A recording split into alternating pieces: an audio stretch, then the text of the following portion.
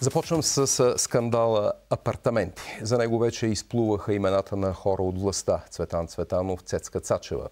От известните съседи в луксозния блок на фирмата Артек се оказаха Вежди Рашидов и Левон Хампарцумян, като стана ясно, че Уникредит Булбанк, която той оглавяваше, е отпуснала милионен кредит на Артекс.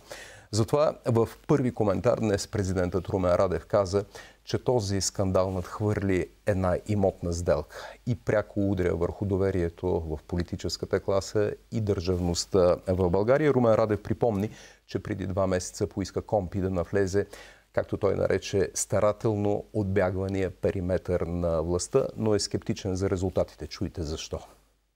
А, няма как тази антикорупционна комисия, която е назначена и контролирана от господин Цветанов, да разследва Цветанов по беззъбия закон, наложен от самия господин Цветанов. И ако това не се случи, наистина можем да имаме сериозен проблем. И за това поредното, според мен, гарантирано уневиняване на господин Цветанов ще се размине с моралната присъда на обществото. Това е големият проблем, който ни очаква. Президентът Румен Радев. Скандалът застигна в Брюксел и министър-председателя Борисов, лидер на ГЕРБ. Явно предстои развитие. Чуйте. Никак не ми е приятна тази тема. Да, тя е във всички случаи, според тях, закон. Затова ще изчакам кратко време, доколкото знам, са сезирани и прокуратурата, и компи да се произнесат. Дори само нарушение да има, не престъпление, дори само нарушение да има, много внимателно ще проследят тези сделки. Това мога да ви уверя. Защото решенията в случая са много тежки. И то в много кратко време преди избори. Въпросът обаче не опира само до Цветанов и до Цачева. Стана ясно, че депутатът от ГЕРБ Ненков е внесъл поправката Артекс, която позволи строителството на поредния нежелан небостъргач, то в Софийския квартал Лозенец. Преди да говорим с Димитър Делчев, от социалните мрежи избирам да ви цитирам въпроса на българската студентка в Сорбоната, Йоанна Елми. Тя пита следното. Сега ще видите в Твитър. Най-важният въпрос след разкритията за Цветанов е защо бихме допуснали с политика, стратегия и дипломация да се занимават хора, които заменят два апартамента на по-хубаво място за един на по-лошо място? Мой гост е, казах ви, Димитър Делчев, председател на движение България на гражданите. няма как да не коментирате това. Колко пласта има този скандал? Впрочем, утре е, ще го коментира и Кристиан Вигенин, е, депутат от е, БСП вечерта и Вет Добромирова и изобщо това ще бъде явно тема, която обаче не е май предизборна. Разбира се, че няма как да не коментираме случай, в който председателя на парламентарната група на най-голямата политическа партия не може да обясни защо е купил апартамент на данъчна оценка. Аз като юрист съм се сблъсквал с доста случаи, в които а, хора, които искат по някакъв начин да ощетят държавата, а, купуват апартаменти на данъчна оценка, реално плащат повече, но разликата между по-малкото и повечето, и по-малкото, което са, което са декларирали и повечето, което са платили, всъщност остава в техния джоб, тъй като те не плащат данъци. А, и всъщност това предполагам, че е основният фокус на проверката на прокуратурата тази сделка трябва да бъде проверена както от прокуратурата, така и от КП Компи и в крайна сметка да разберем ние дали в случай не става въпрос за рецидив, защото това не е първият случай, в който се сещам, в който господин е. Цветанов да е, не е замесен до... в проблем с апартаменти. Мнозина казват в социалните мрежи, но той не е единствения. Мнозина го правят това да платят по данъчна оценка, защото тя обикновено и в повечето случаи, разбира се, е по-ниска когато, от реалната. Когато ти... Всъщност, това ли е проблема? Вижте, когато ти служиш на държавата, господин Цветанов е народен представител, той е избран за да защитава интересите на държавата. Аргумента мнозина го правят и ощетяват държавата, не въжи. Защото в случая работата на господин Цветанов е правилата да се спазват, закона да се спазва, данъците да се събират в, пър, в пълен размер. И ако, независимо дали той или някой друг народен представител нарушава този основен принцип Той нарушава длъжностната си характеристика, той не заслужава да бъде народен представител. А, и за това казусът е скандален. Но този въпрос повдига много по-важен въпрос. Има ли в България върховенство на правото? И а, в случая, аз се сещам за няколко случая, в които бяха разследвани министри на ГЕРБ за различни съмнителни сделки, включително и пак за апартаменти. Имате предвид и... финансовия министр Горанов. Ами, имаше случаи Сега, с неговия финансови... случай изглежда като в детската градина. Нали? Това, с това, което става с Цацаров, не знам, Цачева не знам и заместник министърката на спорта. Не знам дали на място на тия блокове не е трябвало да има детска градина, защото в София не достигат детските градини. Това е разумно сравнение а, и, и разумен въпрос, защото особено в квартал Изток има тежък недостиг на детски градини, както и в квартал Изгрев. Но това е някакси по-друга тема. По-важната тема е, ще си свършат ли органите работата сега, докато тези хора са във властта. Защото когато те не са във властта, всеки може. Когато те са опозиция, всеки може да ги разследва. Но когато са във властта, в България се е доказало, че тези, които са във властта, остават недосегаеми и това е причината българския народ да се чувства несправедливо и нещастно във всички възможни световни класации. Защо си мисля, че се движите по, така, по повърхността на анализа? Всъщност не е ли въпроса в преференциалните цени? Това, това е големия въпрос. И дали и какво е получавала в случая фирмата Artex срещу това? Защото нали, чухте, че да оставим на страна, че от така видните съседи са Левон Хампрацумян и Вежди Рашидов, които сигурно не са имали особено големи преференции, но този закон с поправката Артекс, който дава възможност да бъде построен а, така, небостъргача Златен век, това но, не е ли по-сложния и по-важния въпрос но, за лобистските закони? Много станаха въпросите. Но знаете ли какъв е проблема, че аз, вие, хората, които ви гледат в момента, не могат да отговорят на тези въпроси, защото не е наша работа. Всъщност това е отговорност на органите. Най-важният въпрос. Политик замесен ли е в незаконни действия? И всъщност тук има едно основателно съмнение. И отговор на този въпрос всъщност води до следващия въпрос. А защо такива хора са във властта и какво правят тези хора в Народното събрание? А какво гласува Народното събрание като лобистки закони? Не е ли още по-важният въпрос? Също така, но а, това някакси хората се умориха да слушат, защото толкова много лобистки закони се изгласуваха по времето на управлението на ГЕРБ. Няма да припомням закона за промяна на закона за приватизацията и след приватизационен контрол, с който се опитаха да дадат близо 60 милиона на един голям български олигарх. Няма да припомням... Става, не, не, дайте да говорим да. с имена. Става въпрос за Кирил Домощиев, така. приватизацията на така. Български морски Няма флот. да припомням закона, с който а, се опитаха да ограничат бизнеса на бездимните цигари, за да увеличат бизнеса на Българ Табак. Няма да припомням купищата други закони, които това правителство произведе не за да Нали не забравяте, така, че българите нали да не забравяте закона за хазарта, който е в фризера, защото опира до Васил Бошков.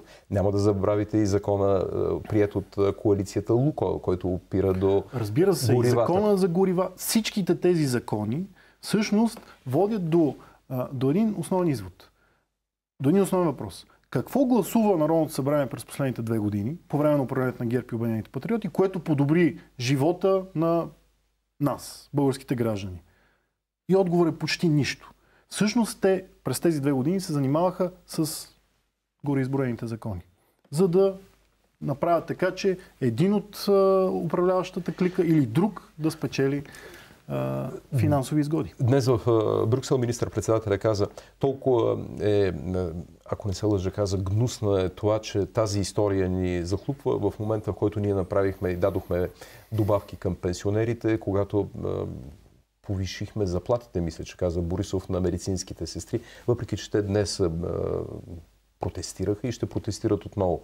И чух една от медицинските сестри, която каза, че заплатата е около 600 лева. На фона на тези стотици хиляди доплащания. Не, само да уточня нещо. Това не са доплащания. Това са... Имах предвид доплащането от 100 хиляди лева за апартамента на Цветанов. Затова имах предвид. Разбрах. Но, но, но, но тази тема е изключително важна, защото а, наистина ГЕРБ и Борисов през последните а, една година развързаха кисията и а, дават пари, които не са предвидени в бюджета допълнително на този, онзи. Всъщност те с тези пари си купуват благоволението, гласовете на цели съсловия. като се мине през държавните служители, полицаите, не че не ги заслужават, но те го правят по такъв начин, че все едно герб ги дават тия пари. Това са нашите пари.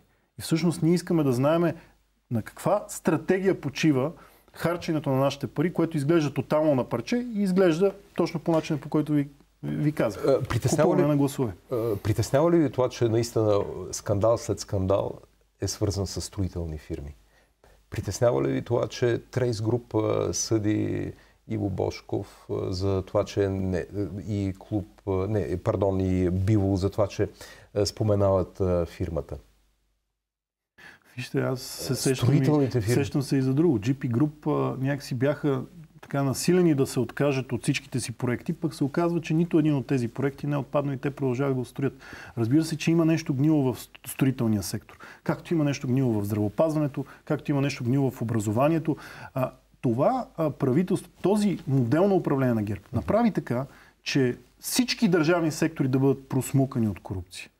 И ГЕРБ нямат намерение да, да променят това. Напротив, докато властта е тази, която е, България ще бъде пропита от корупция и българите ще живеят лошо, понеже тези милиарди, мисля, че прозрачност без граници бяха изчислили, не, Рант Европа бяха изчислили, че 11 милиарда евро на година изтичат от България в корупция. Тези милиарди могат да влезат в економиката. Те могат да отидат и за заплати, и за пенсии, могат да отидат за чист въздух, могат да отидат за електронно управление, но не отиват. Да не ви забравя накрая да ви питам и за това, което ще говорим с Русица Димитрова. Но тъй като става въпрос за това как се купуват общо взето и политици. Много е любопитна корицата на последния брой на списанието Клуб Z. Сега ще видите тази корица. Ето е. Това е на художничката Ирина Кирилова. Много по-интересно е подзаглавието, което почти не се вижда на, на, на този кадър. Музиката е бавна, когато изнасят политическите трупове, е, пишат Клуб Z. Това е почти пророческо, защото СДС пристана на ГЕРБ. Марешки се връща без да изляза от Народното събрание. Николай Ненчев, лидерът на БЗНС, ще се яви като независим кандидат на евроизборите. Какво очаквате от евроизборите. Вчера мой гост беше Христо Иванов, лидер на Да България и съпредседател на Демократична България. Той каза, че общо взето може би ще има последен разговор с вас, за да видите какво ще правите. Затворена ли е вратата? Ние от Движение България на гражданите влязахме в разговор с Демократична България, СДС, БЗНС и всички останали партии, Българска нова демокрация. Влязахме в много искрен и честен разговор с едно намерение простичко. Ние искаме да има широко обединение на демократичната общност на тези избори. Знаете ли кога влязахме в този разговор? През октомври. Сега сме март. И ако ме питате през последните 6 месеца какво се случи, ще ви кажа, че се изприказваха много приказки, много срещи се направиха, много обещания се дадоха и до тук. От кого? И от голяма част от хората, с които сме водили разговори. Всъщност, а, а, има една правилна концепция за това как може да се обедини дясното. Единственият вариант десницата да се обедини и да постига успехи, това е при честно партньорство, равнопоставено партньорство, без егоизъм, без опит на налагане на мнение, защото в крайна сметка всички ние сме демократи и сме равни.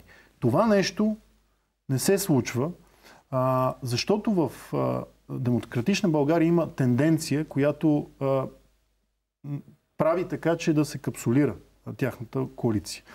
А, тук искам много ясно да кажа, че благодарим изключително много на представителите на движение, Демократи за силна България, тъй като те а, подходиха към тия преговори коректно и с истинско желание да влезем заедно в една никак не лека битка на следващите избори.